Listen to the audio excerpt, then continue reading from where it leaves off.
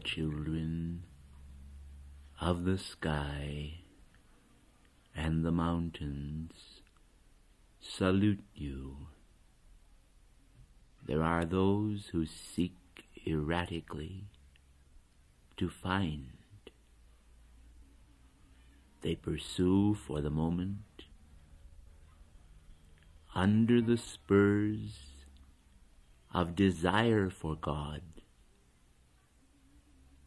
that is not always born of a real hunger for Him, but sometimes manifests because beings in the world are pained by the world. In their pain and retreat from reality, they seek the spiritual path. The light welcomes all, for man was born from light, and to light he must return. But there is no immediacy about it all. The magnet of the divine radiance calls to all children to return. The few respond. Many times the few ask themselves this question, where are the many? They gaze upon the many in their busyness and their elusiveness. And they ponder why they do not respond to the call of the divine magnet. The mighty God presence the mighty I am presence, the beiness of eternality speaks softly to the heart through many media. Nature,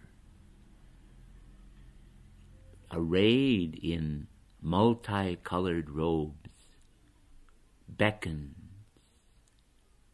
Some attribute a quality of separation to nature, as though nature were a thing come apart from God. Nature and self and all aspects of life are one with God, for it is impossible to separate anything that exists from Him. Yet, for all practical purposes, humanity today may as well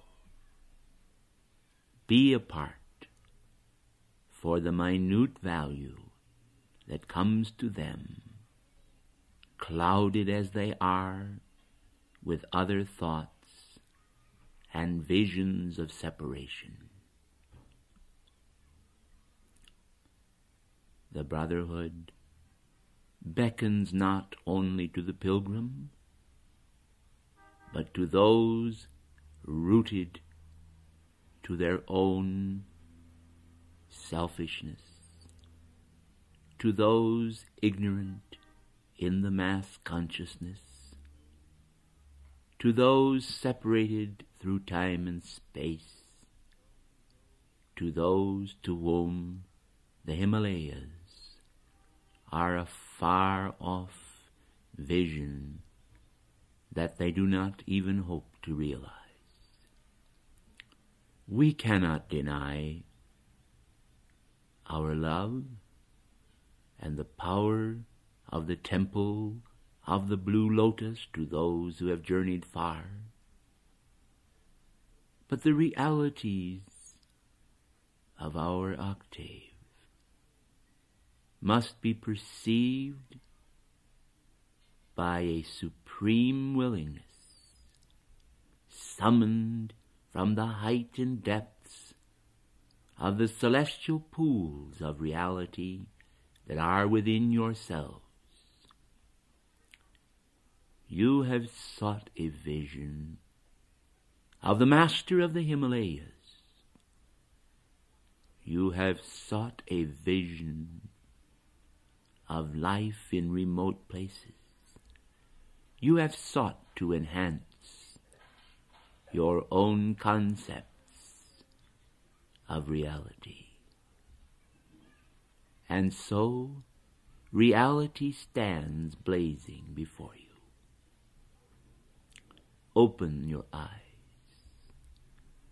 Open your hearts. Drink in the soft radiance. Let it penetrate mind and heart. For who can gauge the gifts of the masters of the Himalayas? Are these not always within your heart? Have they not always been within your heart? Will they not always be within your heart? Therefore, what is time but a fragile moment when you feel the pulsations or you sense the reality that is always there? The pursuers sometimes feel that they have been pursued. Let me say to you that life has given you freedom, and when you are prone to blame life for failures, when you are prone to blame life because you have not climbed the ladder to the height you seek, remember that it is never life that is to blame. When you cast out from yourselves the darkness that is there because of misqualification of life, you begin to clear the way for inner sight. And this comes in many subtle gradations. It is not just one specific and particular style.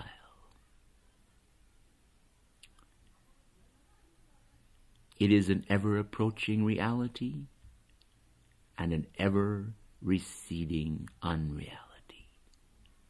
For as reality is born, so unreality dies.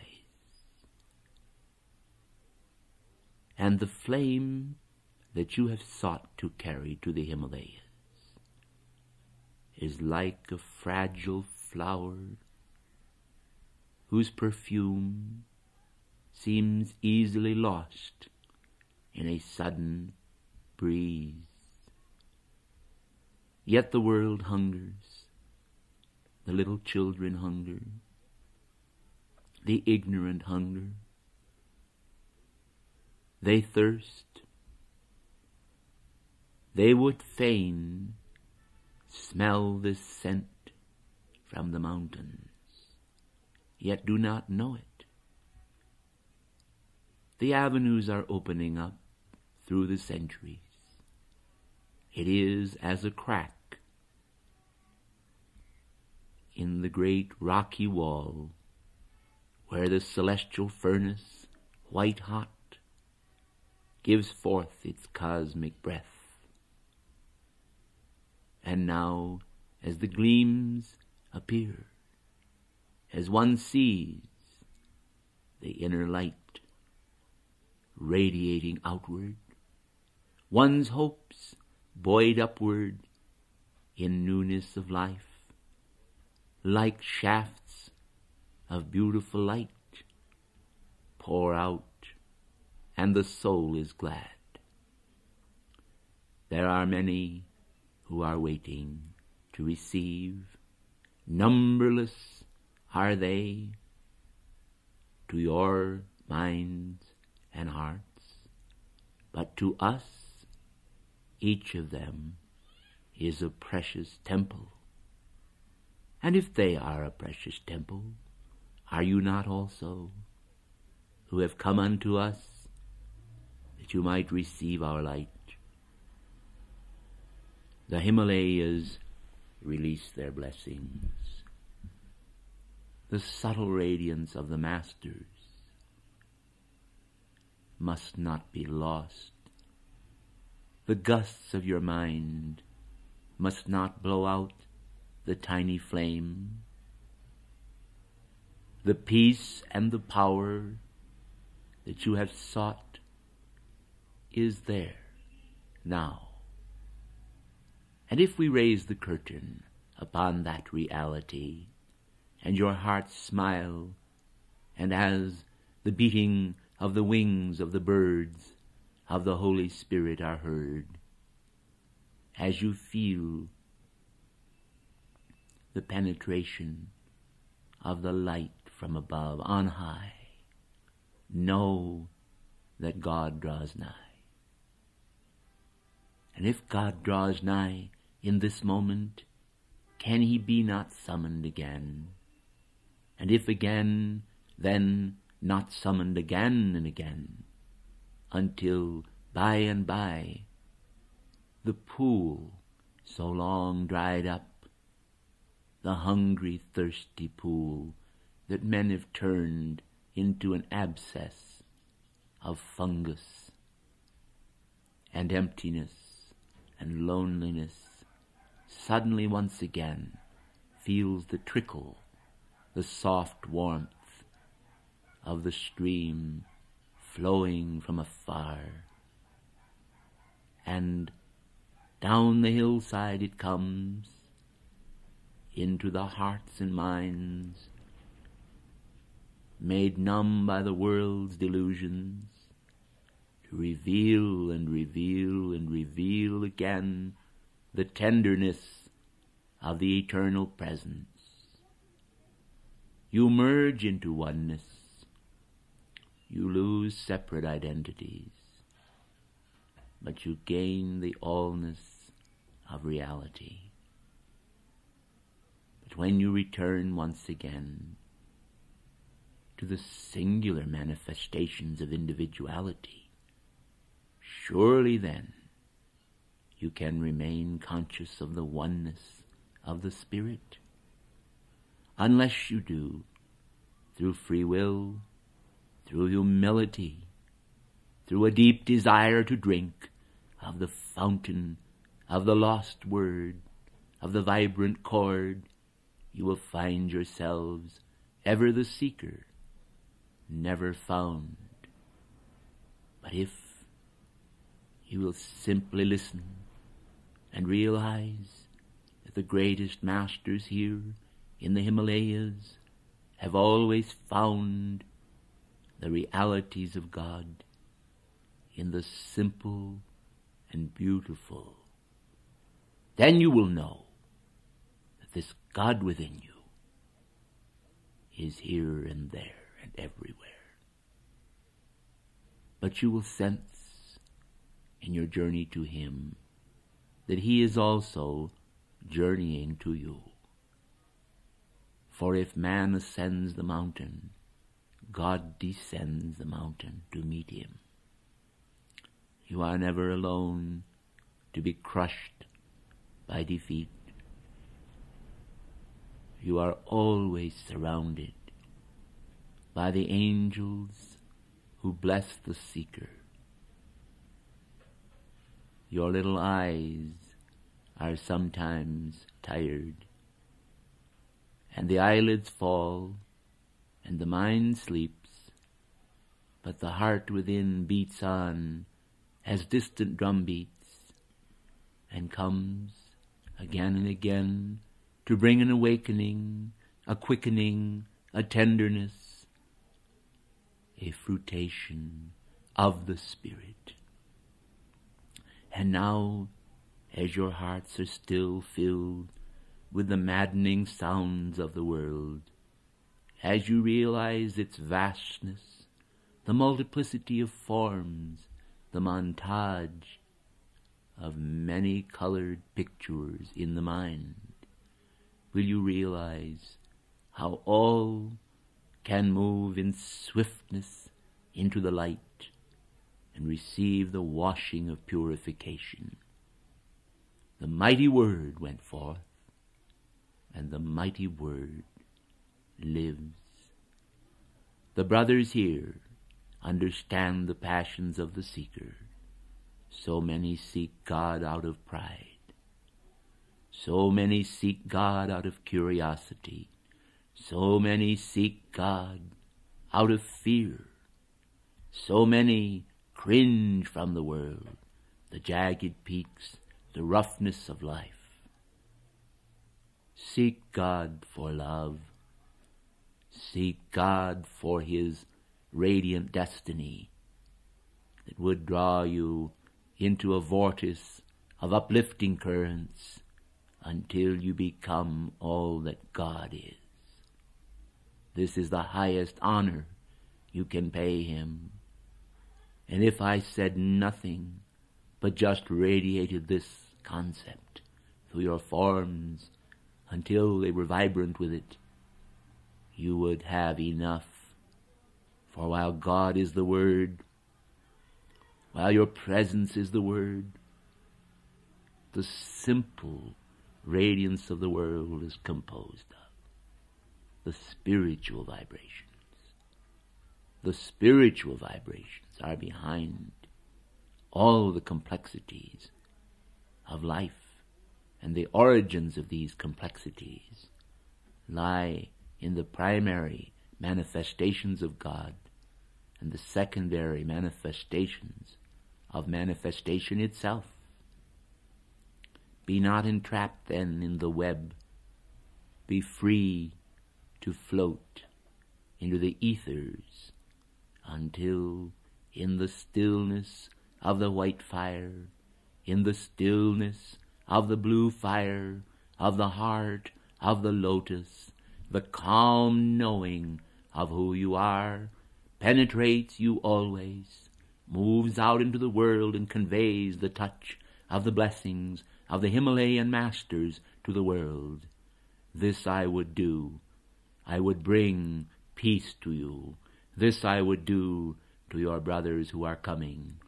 This I would do to all, to each child of the heart of God. This we would do, this life would do, this shall be done. When it is up to you, it is up to you. I thank you.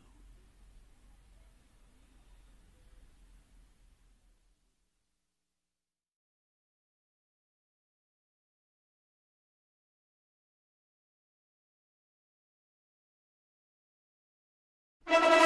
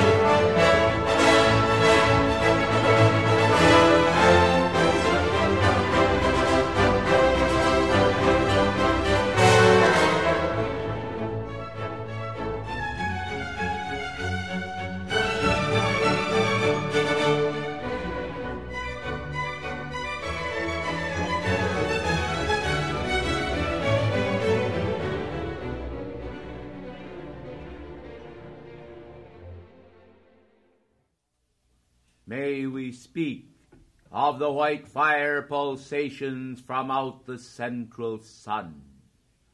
May we speak of this radiance which is as the tremendous strumming of a giant harp in perfect rhythm. May we speak of this white fire radiance that is the heartbeat of the eternal, rushing forth majestically through space with concentric rings of light, pulsations followed by giant pulsations, waves of light, sustaining radiance. Each of these waves is rushing forth into the universe and tremendously affecting life everywhere. This is the contact between the central sun and the periphery of existence. I am come tonight in order to create in you awareness of these higher octaves of light. I want you to be aware of the pulsations of the white fire radiance from the central sun. I want you to sense the quivering of cosmic energies from the cosmic bow in their mighty onrush toward perfection, in their determination to fulfill the destiny of the divine plan. Humanity, in their moments of doubt and fear, often struggle to assert themselves in a more positive way when they see negative conditions facing them. They recognize that they themselves have a responsibility to fend for themselves and to determine that they will become arbiters of their own destiny. Some among mankind you might almost call blessed ones clinging vines, for they continue to always cling to the skirts of the deity, and they always demand of the deity that the deity perform for them that which in many cases they are well able to perform for themselves. We are interested then in keeping the attention of humanity upon the divine presence, but we also want individuals to understand that the presence is sending forth every moment of every day and through every night these pulsations of light which you can attune with and actually channel through your world into those difficult conditions which you face for your own protection and thus become a self-sustaining center of cosmic reliance. There is nothing wrong with this. This is not an act of desecration. It is an act of consecration. It is an act for God that asserts to the entire universe that you are maturing and fulfilling your role of understanding the need to assert yourselves in directing your energies according to cosmic edicts. I do not say that humanity should never, in moments of great stress, call upon the deity, for it is always a great blessing to the one who calls, and it is also a magnificent act from the standpoint of Almighty God, who desires, mind you, to receive the love of his children. And this includes, of course, the calling for help. It is simply that we do not want the students to fail to understand that the greatest help that can ever come forth from your presence is that help which, when you receive it into your consciousness, also activates within the force field of the individual a special activity whereby he is able to direct his own individual life patterns, thus maintaining a sovereign God control over his own world. We want you to understand, however, that for the beginners, for the neophytes, for those who are just starting out on the path, do not hesitate to call upon us and upon your own God presence. And we also want to remind all that to call upon your God presence is also a special act of individual awareness, whereby you can actually invoke self reliance from the heart of your presence. Do you understand? We want the students to understand clearly that the presence is always ready to assist them in moments when they have these great needs. But we also want them to understand that there are enormous untapped resources in your causal body and also even within your physical coordinate. For you yourselves have in manifestation a precious treasure that has been received throughout the years from your presence, and this treasure is always available, providing you have not used it up. We want you to understand that very few people have used it up. In fact, to be truthful with you, very few people have properly used it. And therefore, we tonight would activate in you the awareness of the great cosmic potential which Almighty God and the Ascended Master's consciousness has conveyed to you through the years so that you might expand your light and become masters of your own destiny. Do you know what it means to be an ascended being? When you become an ascended being, you will find that more and more you will rely upon that which you have drawn forth, that momentum of service, that momentum of love, that momentum of power, and the ability to draw forth this power from God and from the universe precisely when you need it. I think sometimes that individuals have a tendency to feel that they must always call upon God, or he might in some way feel that they are neglecting him. Let me assure you that the Father literally bursts with pride when he sees an individual, a son of God upon the planetary body, taking responsibility for their own lives. And this is the type of pride which I assure you is certainly a prize, for it gives a spirit of elation even to the Godhead to perceive that the young students are at last going beyond the fledgling stage and understanding their need to shore up the universe and to contribute creatively to the universe's expansion. This may seem at first to be an abrupt and new idea to you. Many of you probably have always thought of the universe and all of the plans of the universe which God has created as being a sort of a die, something that is stereotyped, stamped out, and firm. You have probably not thought too much about the idea that you yourselves could contribute to the actual expansion of the universe. But I assure you that this is true. I assure you that the flames and the powers of God which you have received are given to you in order to develop the entire universe. Some individuals at first may smile at this idea and say, Why, I cannot even manage my own life. How can I actually exert any influence upon the universe? Well, precious ones of the light, I want you to understand that you are already doing just that. Whenever there is a negative thought that passes through your consciousness, whenever you allow yourself to be used by emotional substance, at that precise moment, you are contributing negatively to the universe. You are pulling the universe down by that thought. Most of you have not actually thought too much about this, for somehow or other, when certain activities take place in your own world, you have a tendency to feel that you are an isolated and separate part of God, and therefore you are not really affecting anything. Precious ones of the light, this is not true. Each individual life stream upon the planetary body has a definite effect upon the whole body of the planet. And this is also true of the great globe with its pulsating light radiance that actually consists of all things vibrating everywhere. Do you see then how that you can contribute positively to the universe by turning your attention to your great divine God presence and recognizing that you ought to also pay your cosmic taxes by sending forth a radiance to God in gratitude for all that He has given to you.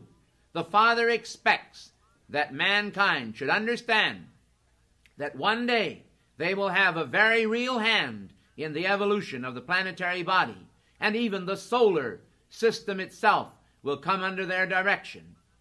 And eventually, of course, the universe, the galaxy, and the entire cosmos. We are actually so happy about the fact that the young students are developing their faith in the laws of nature and the laws of God and understanding that they are really a very vital part of all this universal consciousness on which humanity depends. One day you will also understand that as your minds become more enlivened by the power of the Holy Spirit, you can become a part of the answers to prayer for those lesser evolved beings upon the planet. And God can use your consciousness and manifestation for the satisfaction of human needs. Isn't this a wonderful thing when you actually stop to think about it, precious ones of the light?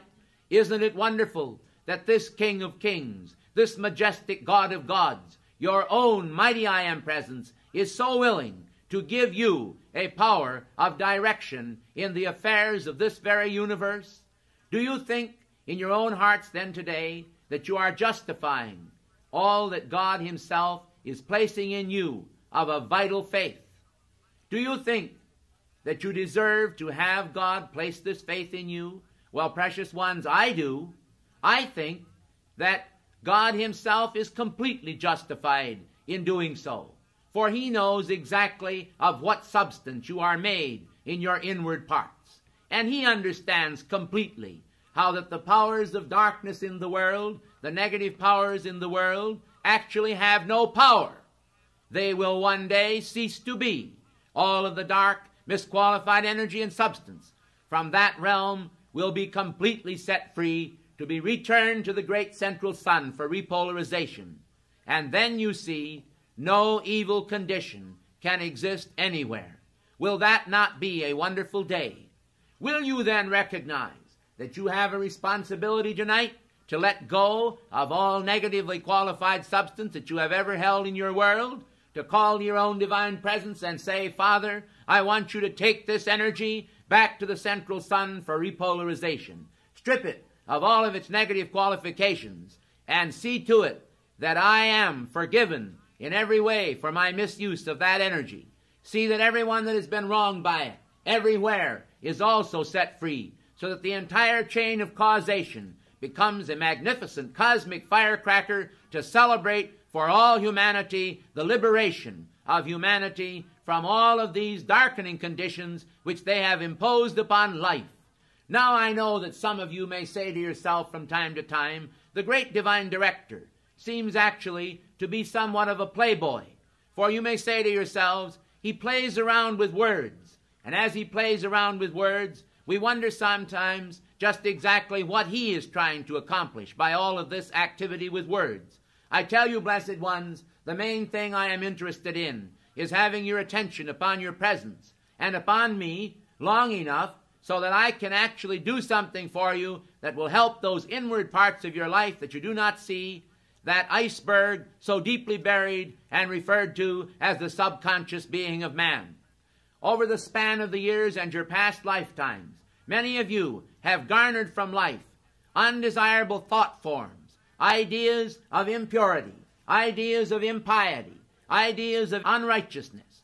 And you have accumulated these ideas, and they have piled up just like so much rubbish in your backyards, in your basements, in even your attics, blessed ones. Sometimes we have actually commented jokingly to ourselves, it would be a good idea if we had a fire when we have looked at these conditions. We have said to ourselves, the only reason we don't want a fire is we don't want to burn the house down before the individual has fireproofed it. We want you to understand then that there is a very real need for the students to recognize and understand that we are practical men of the Spirit. That whereas we are capable of writing what you might call poetic writings, while we are capable of writing great devotional works, we also have a very real sense of humor. For we understand how that many of the rigid conditions of life that are imposed upon you are themselves very serious to you at times. And when you say to yourself, now this is a serious condition, I assure you that we have watched again and again while your blessed body elemental has actually quailed and sometimes nearly taken you out of the body.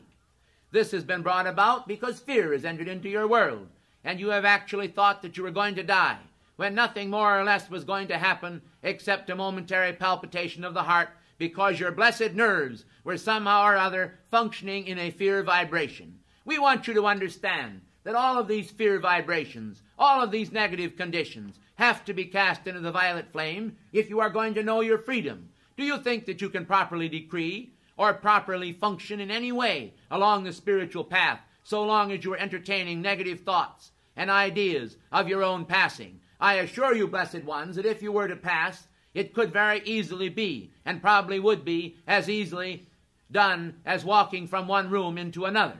It is not such a strange thing. You have in past lives again and again passed through the doorway of death.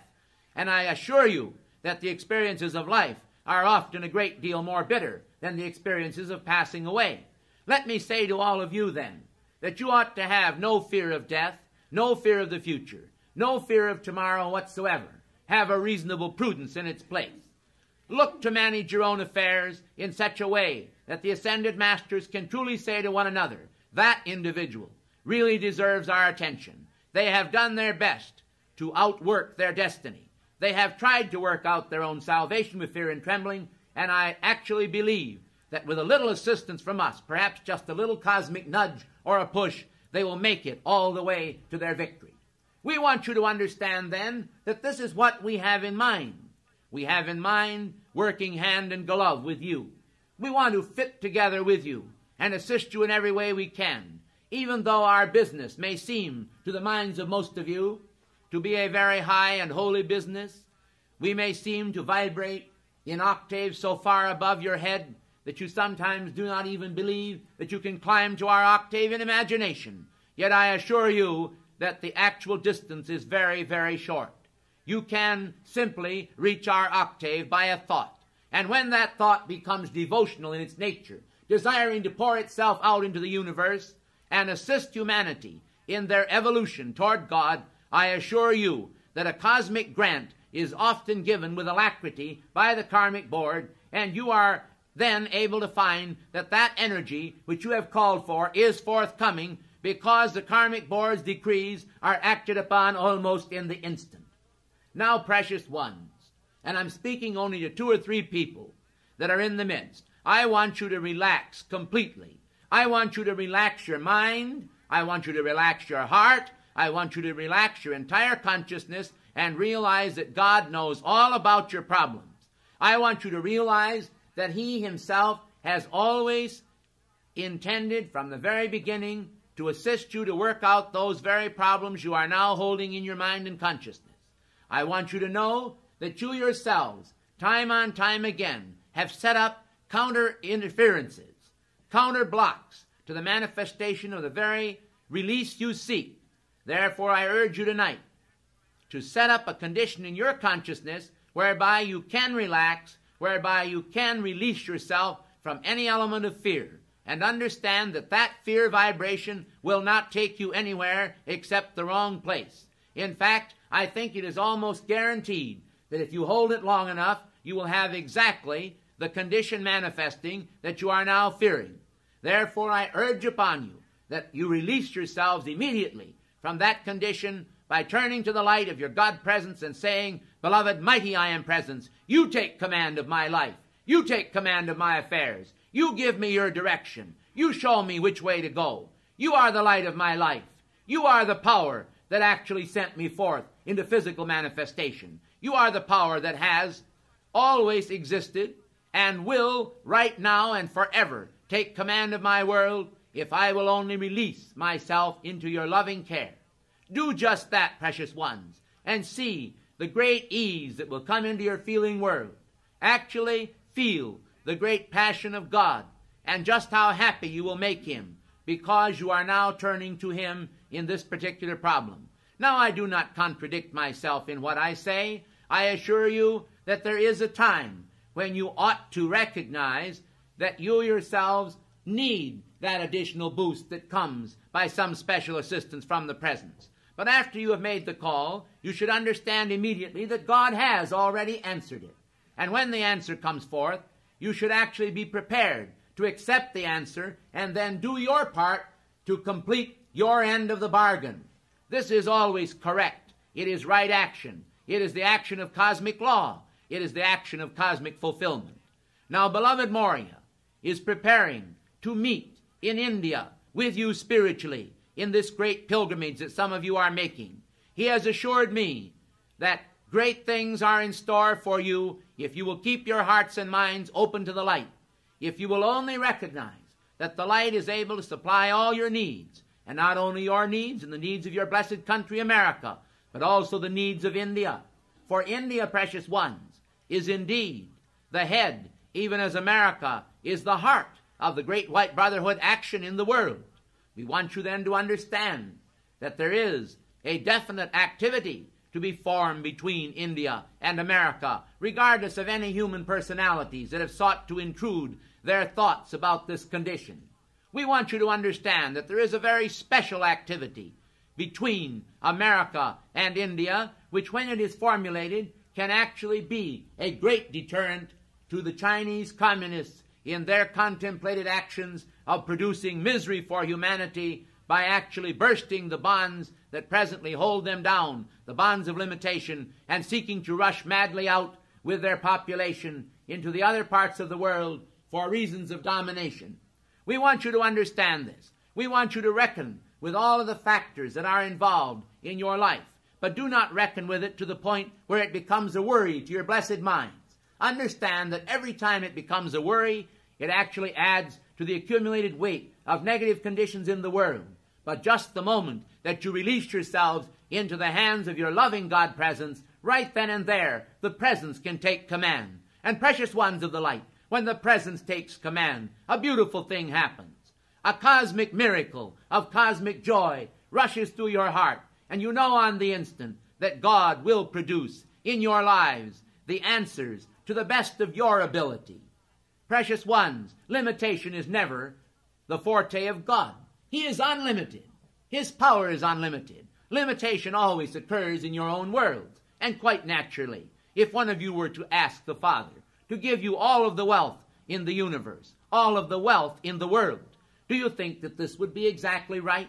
Would therefore the law not be completely correct in stopping, through limitation, the actual manifestation of such a wish? You see, precious ones of the light, cosmic law is always acting. And when individuals sometimes set up interfering patterns in the flow of the law, they experience great difficulty, which they do not realize directly stems from their own thought processes and emotional processes. If you will only learn this lesson, I assure you that in the future we will be able to avoid some of the conditions for you that at the present time are so very difficult because of your own consciousness. Will you then renovate your consciousness tonight by turning your consciousness into the light and actually washing your underwear, so to speak, in the blessed fountain of cosmic light energy which is rushing forth? Do you understand why I am saying it in this way? It is because I actually want you to feel a smile in your heart and have a smile upon your face. I want you to relax in this time of world tension. I want you to understand that God still has the trump hand, the upper hand over all conditions. And whereas man may propose, God always in the final end disposes according to the disposition of his mighty law. Those of you who have sought healing and sometimes wondered just why the healing has not been forthcoming on the instant, please understand that the law is probably even now responding to your request in a manner far swifter than you yourselves actually deserve. And I do not say this because I wish to create an attitude of self condemnation in you. I say it simply because it is true and to bring you the comfort of the law. Even now, there has been a step up in the radiation of the ascended masters to this planet, and we expect that the Easter momentum generated in this class and generated also in other activities of a religious nature upon the planet shall be gathered together and directed by the lords of karma to assist humanity all the way to the 4th of July. Is this not actually a blessed turning of the wheel of the year? A quarter of the year is then going to be served by the energies of a few days given to the light. I tell you, humanity are blessed, but there will be certain problems occurring during this period. The present unrest in labor is an agitation of vile forces in the astral realm, which must be brought under control and subdued. If you will only pray for the beloved messengers, I assure you that they will do all in their power through special methods given unto them to clear the way for the children of light and to evoke the forces of light in such a manner that all of you will experience in the coming months a tremendous upliftment which you have called for. I want you then to understand that there will be a routine momentum which you will be expected to observe. There will be a routine momentum of action, a cosmic faithfulness on your part, which the great law always requires. Will you assure me tonight that you will do your part by answering the calls of the ascended host and holding faithfully to that necessary and required cosmic momentum, even in those moments when you may not feel exactly like doing it?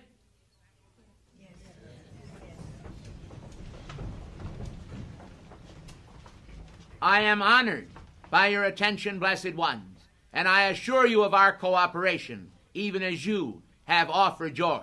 Won't you please be seated?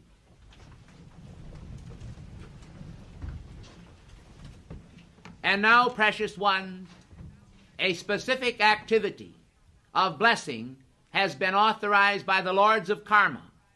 This can be called a wave offering. And I am going to ask you to do a childlike gesture, a simple little thing, which some of you, like the king of Syria long ago, may actually question. But it does not matter if you will only do it. For I have asked you to do it, and my word will always be fulfilled. I ask you then to offer to God a wave offering. I ask you, at a given signal, to raise both your hands, not as high into the air as you can, but perhaps just a little above the shoulders, and then wave your hands back and forth from the left to the right as a gesture of love to God on high and to the ascended masters, signifying that you yourselves have that faith, that vital faith in your own consciousness, and that you are willing, if you do not feel it or have it, to receive it. If you will do this, I assure you that the angels from higher octaves will bless you, and you will certainly eventually receive the blessing that is given forth tonight. We hope to permeate your consciousness, to penetrate your consciousness, to infire you and infuse you with our love and the love of the law. But just exactly what takes place in each individual force field will depend upon your attitude and the correct amount of faith that you can muster. Will you then prepare yourselves to receive our blessing?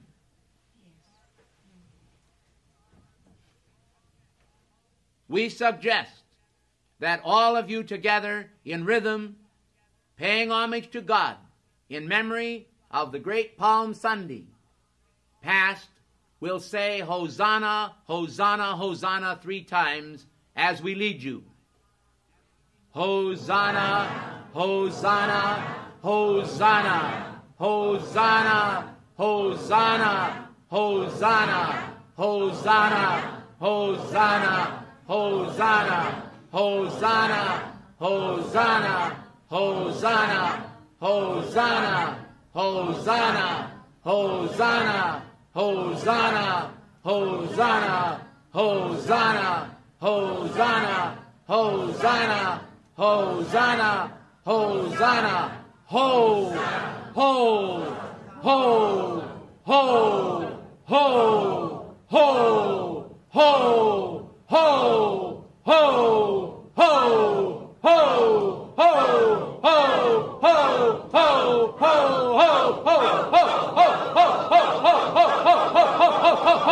ho, ho, Hosanna! Hosanna! Hosanna! Blessed be he that cometh in the name of the Lord.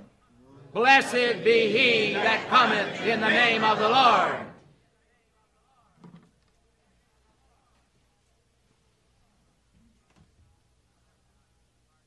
Let not your hearts now be troubled, nor be afraid. But in the days ahead, let your faith mount up as on eagle wings.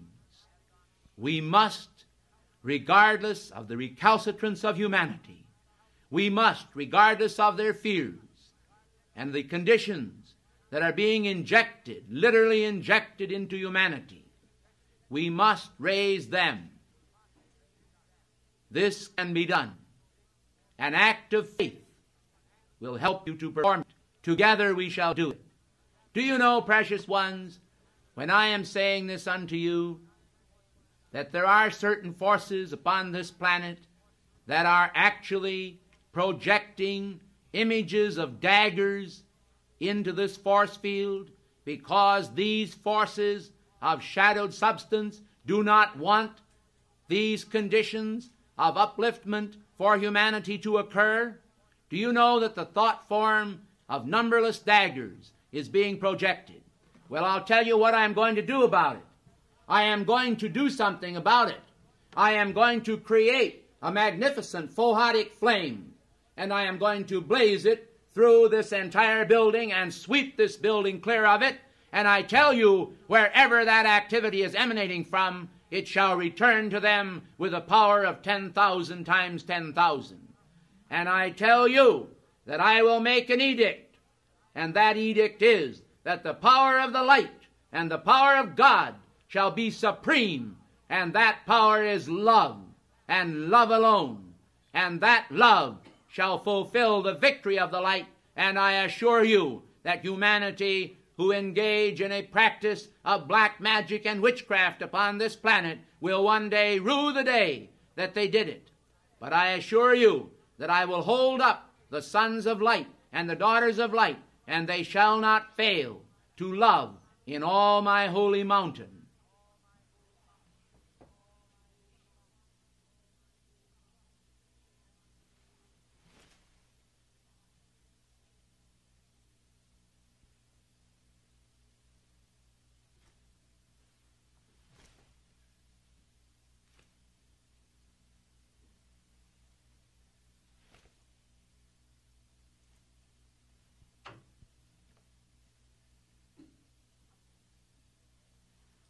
Be at peace. and know that I am is God. Know that your I am presence will keep you blessed. Know that in your I am presence is perfect rest. I thank you and I salute the God within you.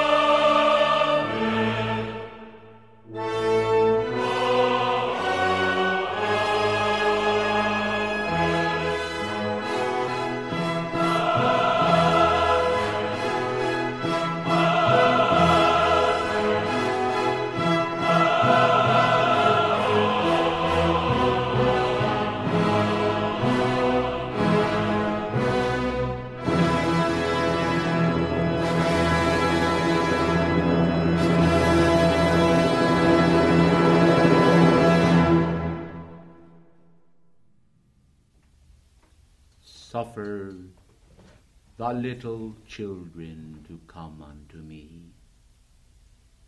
Who are the little children of this age? Are they not all humanity? For do not those of mature years also have hurts that need to be mended? Do not all mankind feel themselves at one time or another to be little children as they stand in awe of the pageantry of creation? As the light of the stars is contemplated, as the power of infinite love is thought upon, the wisest among men bow their heads in inward silence and respect for the vastness of cosmos. But there is a concern from the farthest star in space to the tiniest heart that the fullness of development, of mercy, of wisdom, of the pathway of peace would manifest in the consciousness with its balm intended to give to each one the energy and the purpose for ordered service. How the world hungers today after righteousness, how they seek to be filled. Yet the marketplaces of the world have not provided the spiritual manna the souls crave. And men and women go away empty.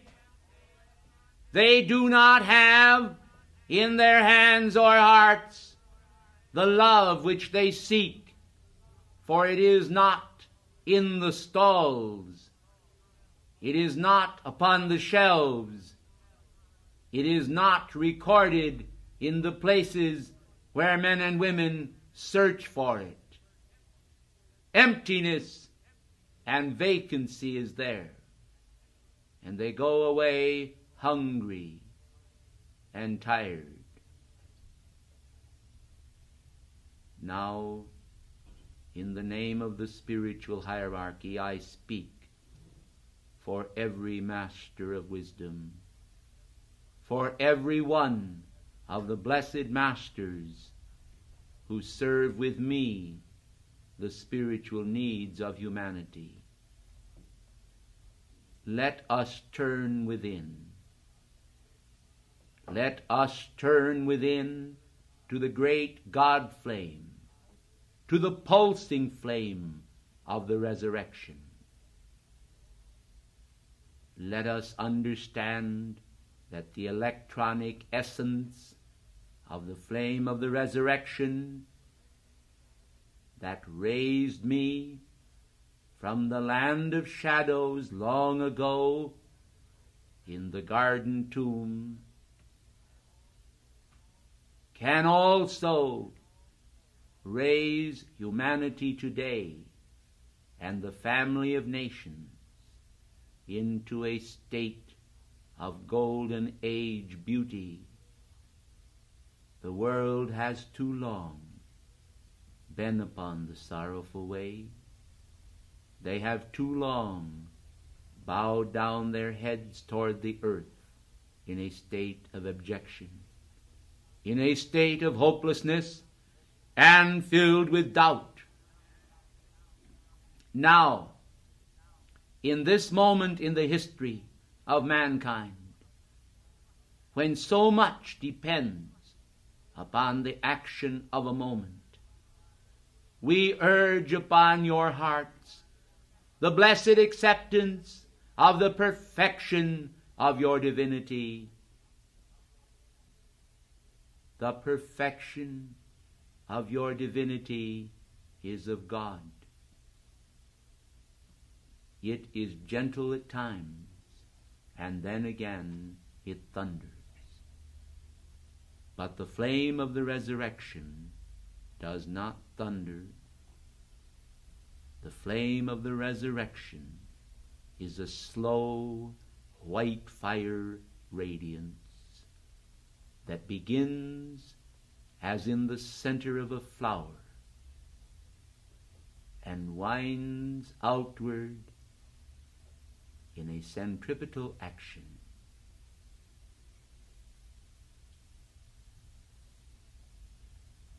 You understand then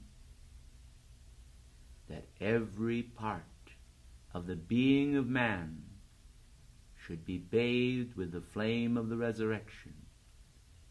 Will you understand then that as I came to you today, the ascended hosts in higher octaves of light did prepare a special gift to encircle the world with.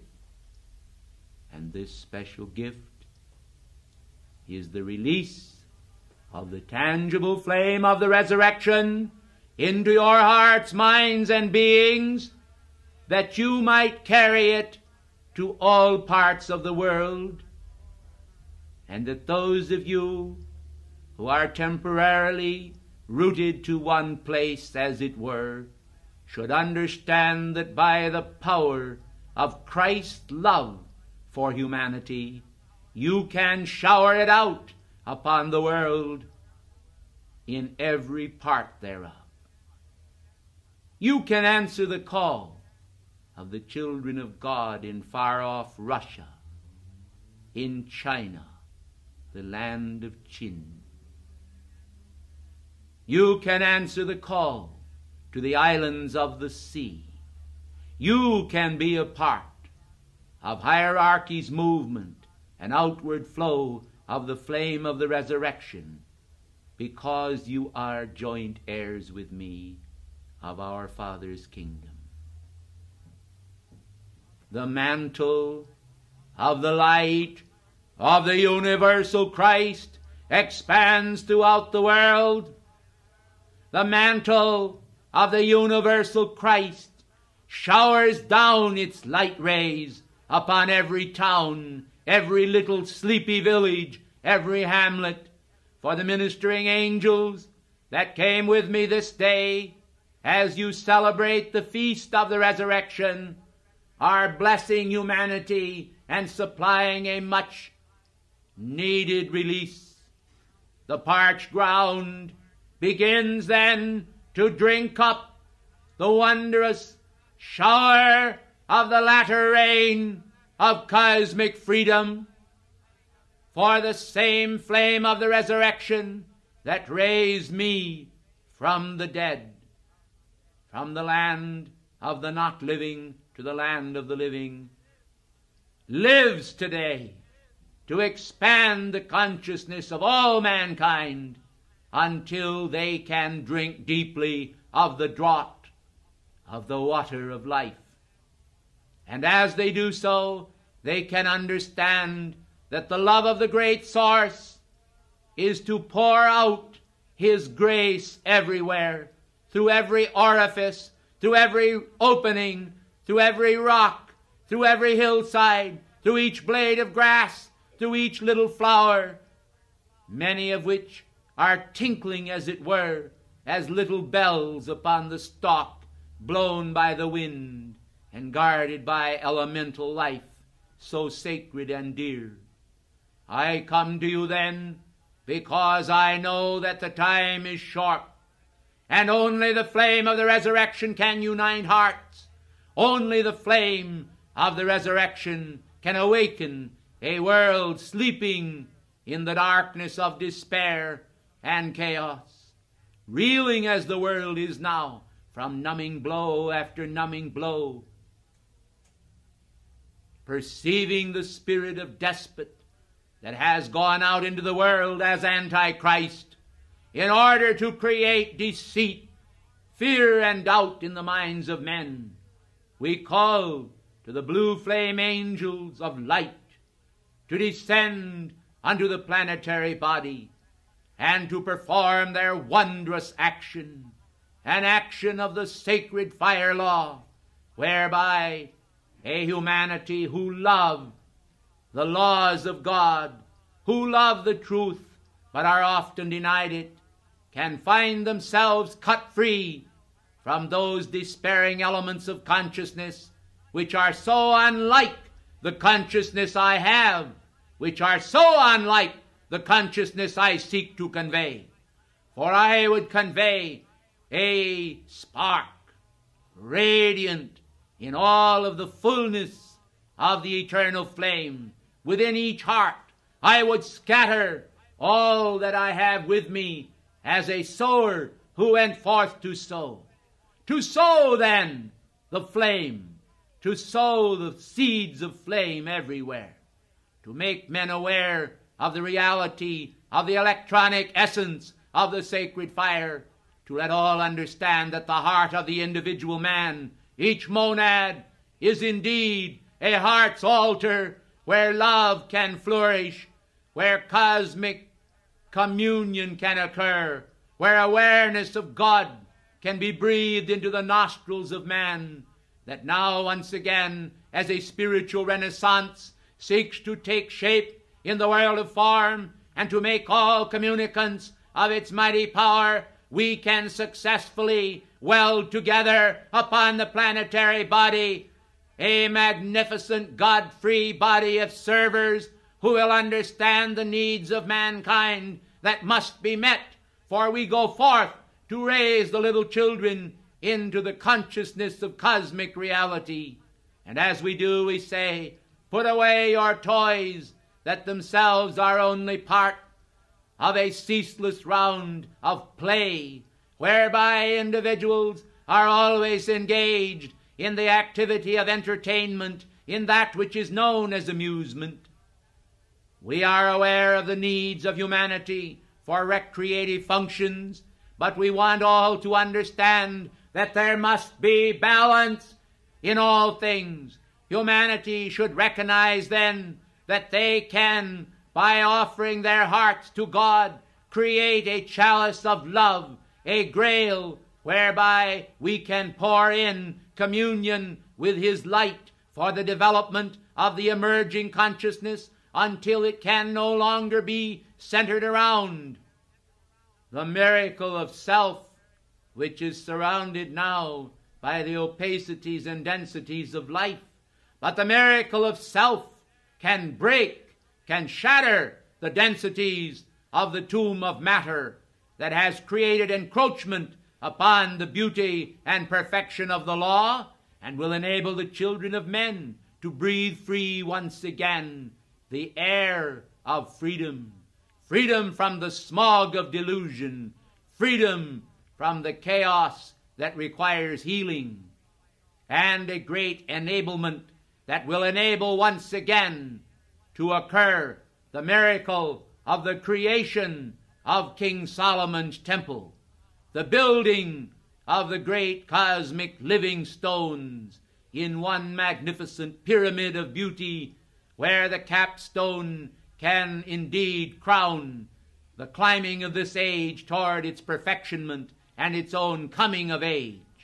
We stand then as arbiters of the destiny of man to enfold humanity in its garments of Christ victory. We stand then as servants of the eye of God to create those ordinate perfections in the consciousness that will destroy the inordinate manifestations of darkness that have blighted the fruit upon the vine and have caused humanity to become children of shadow and darkness and shame and reproach.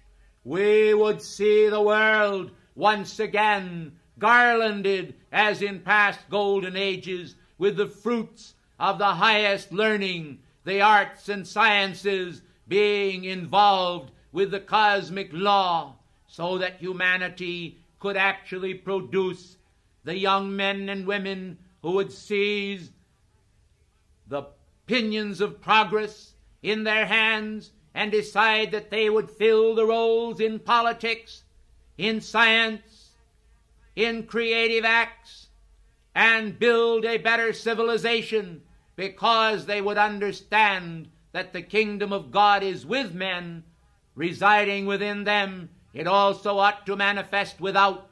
That which is within does manifest without.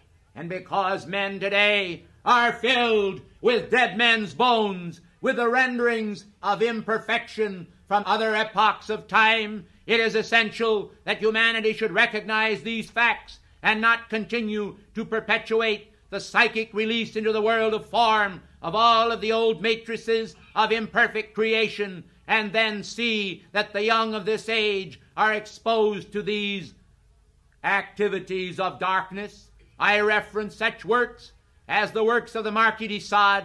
I reference such works as many of the pornographic renderings which today are being offered to the young people, many from the Dark Ages. I reference also the line drawings from medieval times that have within them the seeds of darkness and decay. We would create the matrix of perfect history. We would create the patterns of perfection from the old temples. We would restore the old landmarks of the Spirit, and we would build a perfect world without, because there is already builded a perfect world within. God seeks to lower this in the great cosmic cloud of creative essence, which He seeks to surround mankind with. God seeks to lower this, and it is indeed to be perceived in the great seal of the United States. Humanity can understand then that as the cloud of perfection descends and the starry constellations are perceived as the great cosmic hierarchies of the true astrological configuration are brought into manifestation, then the hierarchies of Capricorn, the hierarchies of Sagittarius, and all of the twelve will indeed be able to produce the miracle of God perfectionment among mankind that will not make them a victim of their stars, but will make them a radiance of their stars. For the radiance of the stars of the birth sign will come into manifestation through the consciousness not as a banal activity of hindrance whereby men and women are afraid because of the karmic tamperings with the solar hierarchies of that which is coming upon them. In its place, we will bring into manifestation the radiance of the sacred fire, whereby men can learn to govern their own karma and actually set it aside as easily as a child can take building blocks and build or destroy a building. When the karma is set aside by a personal activity of the child of light who understands the need to do so in order that he may function momentarily for the cause of the elect, he will perceive that one day all of the karma that is set aside can be more easily balanced from higher octaves of light. This we are perfectly willing to have done, you understand, providing men will enter upon the path with such utter devotion toward the radiance that comes from the uttermost parts of the earth and the secret temples of the brotherhood into physical manifestation through your consciousness in order to teach you the law that you may become as a little child, humble and unafraid, facing the universe and life, and perceiving that the goblet of life is filled with richness, embroidered by the Holy Spirit, and surrounded by a radiance of such celestial light as to afford all humanity not the hope of great sorrow, but the hope of great joy, a buoyant joy that actually was captivated in the song that long ago rang over the Judean hillsides at my birth, celebrating then on my natal day the story of old, glory to God in the highest, and on earth peace and goodwill to men. This is the message of God. This is the message of liberation. This is the message of the flame of the resurrection. It is all one, for all feasts in their central ordinances manifest one divine idea, for they come from one source. Let men understand then that they are intended to garland the year and the years. They are intended to garland the life and the lives of all with the celestial radiance that enables men posited in one part of space to also have awareness of all. Men then can, through the power of the living Christ, drink deeply of the goblet of life. They can feel the passions of the resurrection flame burning within them now, and as they do, they can understand that he that believeth in me, though he were dead, yet shall he live. For no one who believes in me, that is, in the power of the I am presence, the radiant power that declared, I am the resurrection and the life, can ever die. But he will always create those new spatial spires, those new spatial spirals, which are ever ascendant in consciousness and in manifestation, which enable men to make each life nobler than the last, beautiful to behold before one's peers, and beautiful to behold before the elect. We then of the house of David, we then of the radiance of Abraham, we then of the priesthood of Melchizedek, we who are children of the light and of the sacred fire, we who are the elder brothers and guardians of the race say, Take heed this day what ye do, and remember that that which I speak to thee this day is also spoken to thee every day of thy life. It is this The Lord is with thee. If thou doest well, then behold, God is with thee forever.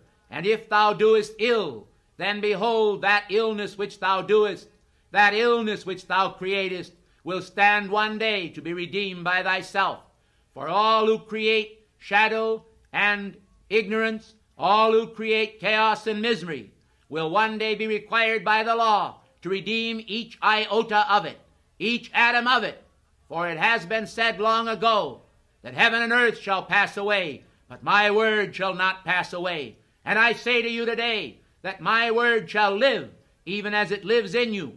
In those who are perfect, it lives in you to amplify your perfection. For every one that hath shall more be added unto him, and to he that hath not shall be taken away that which he hath. Therefore, those who have not of my perfection, or a place in their heart for my perfection, then you see what they already have shall be taken away and lost unto them. This is the law acting. Over it no man has the power to govern, for even God himself would not govern the activity of the law of life. For the law of life is straight and narrow, and few there be that find it. Yet hope goeth forth to all, for all have within themselves this hope, if they will understand that by the acceptance of the resurrection flame, they can now today rekindle once again the divine sense whereby the flowers are raised each spring into radiant manifestation, the divine sense whereby all shadows and shadow thoughts can be transmuted into thoughts of righteousness. They will understand then that all fear can vanish away and become a part of the night consciousness, separate from humanity. And in its place, the light and the beauty of our way of life will provide a highway of holiness upon which all may walk. I stand before you this day. I stand before you this day. I am, and I am, and I am, and because I am, ye are. I offer you the mantle flame that glows within my heart. I offer you its use in order to start the kindling of the resurrection flame within yourself. I offer you my mantle flame that you may use it for the glory of the weaving of the great solar deathless body which I have woven, which God has woven for me, that you may one day hear the soundless sound, the great rumbling, which to mankind often seems to be the voice of thunder, saying, Thou art my son, this day have I begotten thee. Oh, what joy there would be in heaven this day, if all of you and all humanity could accept it, for it is offered, and when it is accepted, that is all that is necessary. But the acceptance seems to be a process of great order. Will you begin that process now by highly resolving within the depths of the temple of life within you, within your own consciousness and personality, that it is your will to turn and serve the light so that the light may serve you. For the sun shines behind my body, the sun the great solar radiance is passing through my flesh form, through that radiant heart of flesh which I am also manifesting. Do you understand that I did indeed ascend, carrying with me all the elements of my being? And so now they are transmuted into pure light. They are made of the sun radiance of the white fire core from the central sun. May I pour a little of this through your flesh body as I offer you my mantle flame? May I pour it through you now? And as I pour it through you now, will you drink deeply of the draught of that cosmic energy that it may perform within you an activity which God would also do, which He would willingly do for every avatar, for every son, for every daughter, for each one. For God so loved the world that all who believe upon Him should not perish, but have everlasting life. That which I declared long ago rings in truer tones today, for today it speaks to many more that they may understand that other sheep I have also which are not of that fold, but now ye are also these other sheep, Gentiles, who are becoming of the house of all that is real, Gentiles who are hearing today the word of life, the everlasting gospel declared to you. Come, my children, children of one Father, enter into the righteousness of the Son principle. Enter into the righteousness of the law that affords all of you the blessedness of spinning for yourselves by cosmic decree the self same seamless garment I wore and wear, for I wear it still.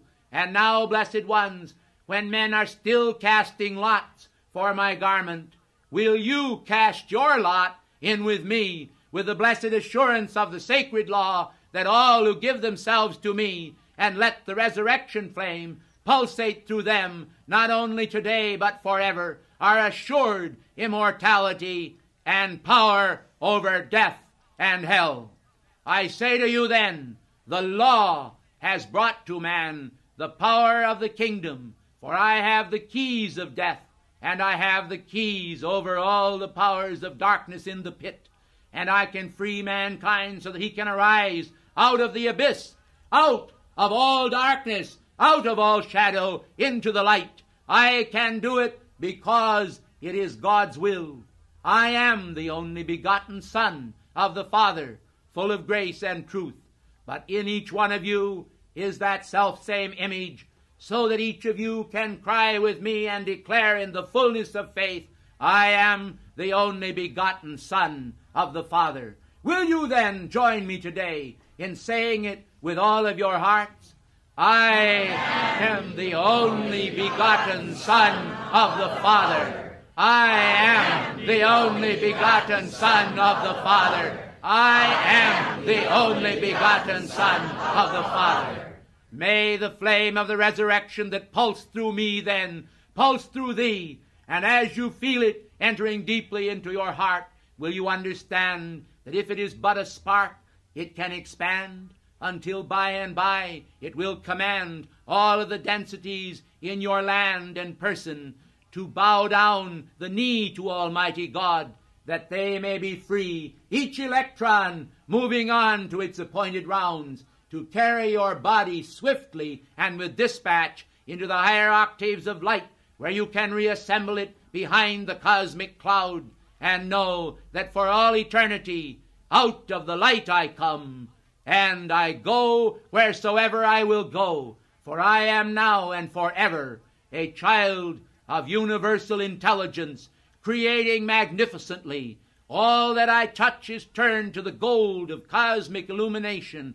All that I am is filled with the infinite love and passion for freedom. I garland the world with hope I bring forth the flowers of beauty. I clothe the lilies with their garments, and I clothe each one with the purity of the lilies. Hear ye then, O humanity, I will shake thee, even I, the Lord thy God, will shake thee. Even I, the Christ, will shake thee, and I will rule the earth. I will rule the earth by the power of light within each soul.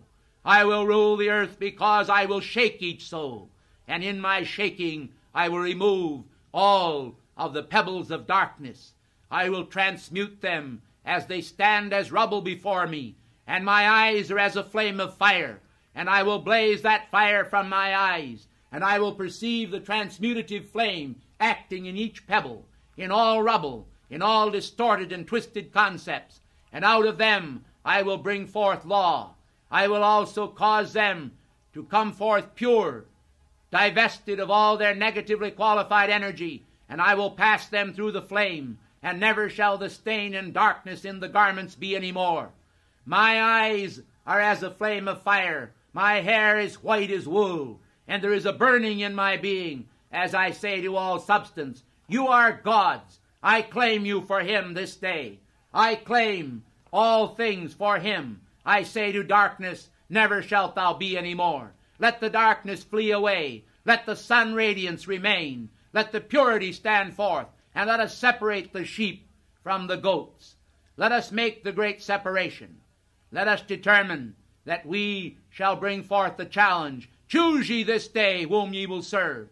If ye choose then, remember, it is not a time for turning back. Never shall you turn back. Never shall you turn back. Even though the sorest trial of life come before you, you shall go the way of every victor. You shall obtain victory over the grave, over all substance, and over all energy. All corruption shall yield itself to you, for I am the invincible, cosmic Christ power of the resurrection flame that resurrects every atom of being from all of the tombs of matter and density in which it is dwelled. And I shall purify it, and I shall return it to the heart of the sun, and it shall come forth as a stainless, pure white garment of light with which you shall be clothed.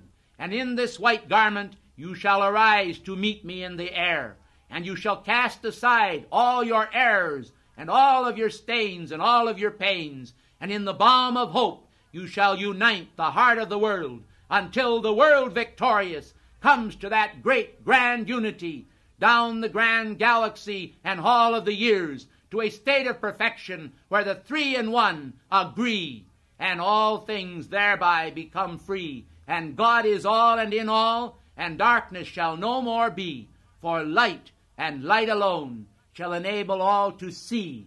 And as they see their imperfections exposed before them to view they shall cast them within the flame, and the purifying essence shall array them in the glory, and the mantle flame which I gave them shall be a kindling that shall sweep their being, each atom, each electron, until all shall glow with the fire of release, and the world shall be purified by fire, and all things shall live in beauty, and the desire of God be manifest each day, each moment, and happiness shall sing in all, and the joy songs of the ages shall be fulfilled. The mission for which I came shall be fulfilled in all, self willed in all, because all shall will it so. And all shall offer themselves unto me and unto God, and I shall bow my knee unto him, that God may be all in all. And behold, I make a new heaven and a new earth, for the former heaven and the former earth is passed away, and behold, all things are become new bathed in the resurrection flame, in the essence of the God intent.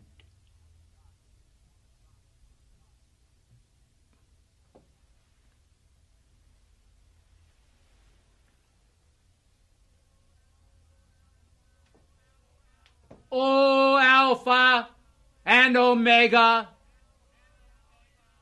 O Elohim, hearest thou me? Thou gavest me all power in heaven and earth. And I say, let us renew the covenant of dominion over the earth. Let us renew the covenant of discipleship in this new age. Let us create a holy circle of infinite love, and let none of them be lost that thou givest me, O Father, until they have finished their course and kept the faith. This I ask in thy name, O Father, and I know that thou hearest me now, and I know that thou hast always heard me. Ephphatha, open the pathway then through the air, and let the electric current, the swift blue current of light, descend. And evoke then the power of the resurrection spirit in all. Roll away the tombstone. Roll away the stone from the tomb of matter. And let the radiant Christ spring forth, the electrifying one. And let the flowers spring up wherever his feet do touch the hallowed ground, and that each one see themselves thusly. Thus shall the renaissance of the golden age begin in the resurrection of the sons of God, in the restoration of the boundaries of the temple, in the building of the age to be. My peace I leave with you, my peace I give unto you. Not peace such as the world gives, give I, but the peace of the universal Christ. I am the resurrection and the life of all actions of righteousness, and my Father's kingdom shall flourish as you receive my life as you drink into my life, as you give my life.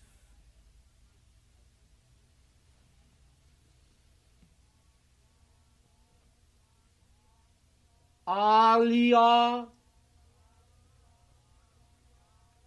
Merara, con il suo la cerimonia, balle cansovobo, mizoala, curiai,